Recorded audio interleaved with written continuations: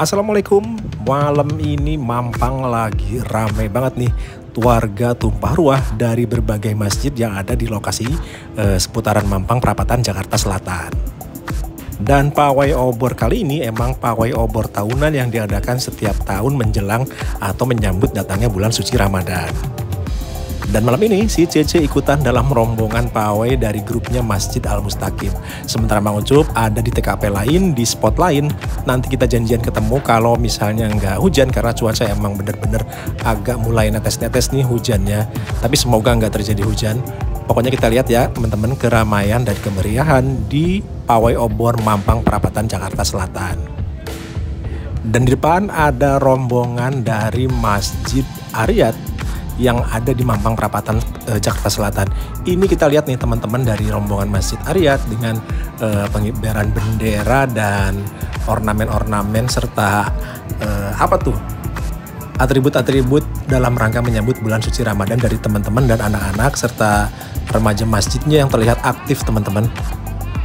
Dan gimana pawai obor di tempat teman-teman sekalian. Semoga sih semarak juga ya menjelang datangnya bulan suci Ramadan ini kita akan sambut kedatangannya dengan meriah, dengan semangat, pokoknya dengan berbagai kemeriahan dan antusiasme yang tinggi. Ini terlihat rombongan dari masjid lainnya dengan atribut, dengan kendaraan yang didekorasi. Kita lihat ya, pokoknya kita lihat, kita pantengin, kita tetap tertib karena ini jalannya juga uh, ramai karena akan bertemu dengan rombongan dengan masjid-masjid lainnya yang ada di seputaran Mampang, Jakarta Selatan. Dan malam ini benar-benar meriah banget teman-teman atribut dari para peserta yang ikut pawai obor, kemudian uh, aksesoris-aksesoris yang mereka bawa, kembang api dan pokoknya pokoknya perlengkapan semua teman-teman yang ikut pawai obor malam ini benar-benar meriah banget teman-teman. Warna-warni, mampang, colorful banget pokoknya malam ini. Dan rombongan yang ini datang dari masjid yang masih ada di kawasan Mampang juga. Mau Ucup nggak fokus dengan nama masjidnya karena suasana begitu ramai, begitu macet, tapi tetap tertib dengan aturan dan uh, arahan dari para panitia masing-masing.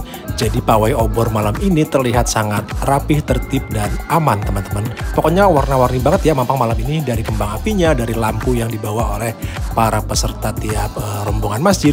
Bener-bener bikin semarak dan bikin hiburan dan bikin uh, apa ya, pokoknya ini adalah perayaan menyambut malam tahun baru yang super uh, colorful.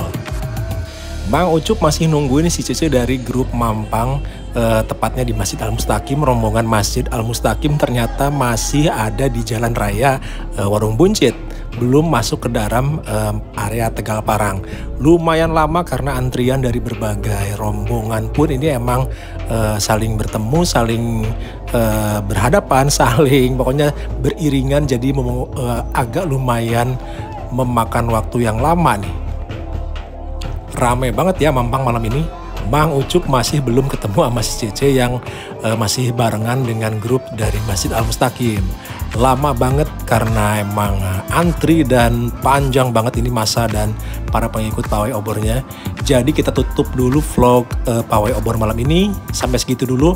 Uh, abis ini kita akan lanjut ke dapur ngapain aja yang tetap masih berproduksi seputaran kue-kue cemilan atau cookies-cookies menjelang Ramadan. Kita gaskin kita balik ke dapur ngapain aja ya. years later. Selamat pagi, masih dari dapur ngapain aja. Kita kembali produktif mumpung weekend, mumpung minggu dan pesanan udah mulai masuk sedikit-sedikit, alhamdulillah kita akan bikin kue putri salju pagi ini. Seperti biasa bahan-bahannya mungkin teman-teman bisa cari atau googling sendiri di YouTube, di Google. Pokoknya banyak banget resep kue salju. Kita bikin ya, kita gabung ke dapur ngapain aja bareng si Cece dan Mang Ucup kali ini sebagai kameramennya, sementara si Cece yang bikin cookiesnya.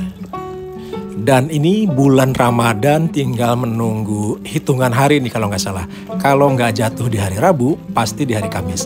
Pokoknya itu e, tinggal nunggu pengumuman dari Menteri Agama dan kita akan melaksanakan sholat tarawih di malam pertama.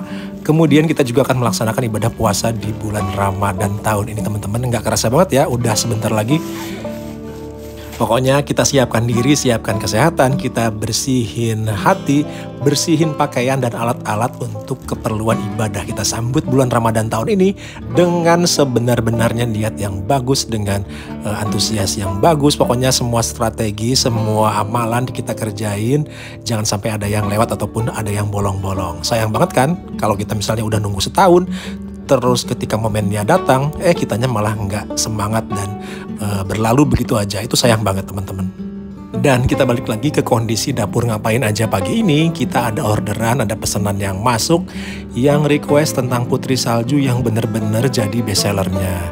Nggak tahu kenapa orang-orang pada suka banget dengan kue putri salju dengan cookies yang ini. Mungkin karena manis, karena gula halusnya yang jadi andalan.